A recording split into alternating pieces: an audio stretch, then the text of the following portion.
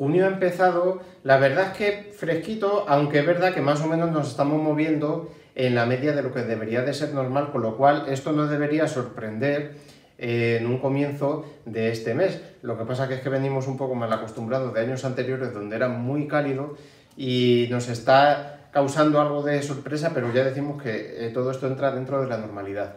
También ha llovido un poco, no mucho, la verdad que desearíamos más, pero ha caído algo. Y este fin de semana va a empezar tranquilo, pero luego el domingo vamos a hablar de algunas novedades en el tiempo. Este viernes va a terminar con mucho sol, con cielos despejados, alguna nube alta sin importancia. Las temperaturas máximas suben un poco, superarán otra vez los 25 grados, pero no por mucho.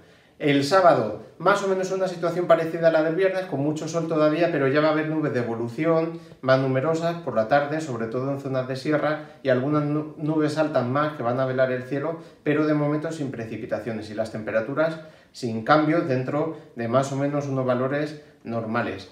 El domingo sí que aumenta bastante la nubosidad de evolución, podremos tener precipitaciones sobre todo en zonas de sierra, en los montes de Toledo y en Sierra Morena, especialmente en la parte oriental de esta zona donde sí podrían ser incluso localmente fuertes con algunas tormentas. En el resto hay menos probabilidad, pero no son descartables, sobre todo más probables en el este de la provincia y con temperaturas que van a bajar y podrán quedarse otra vez por debajo de los 25 grados en muchos puntos. La semana que viene va a seguir esta tónica, con fresquito y con algunas precipitaciones si acaso algún día, pero en general no se ve que vaya a llover mucho.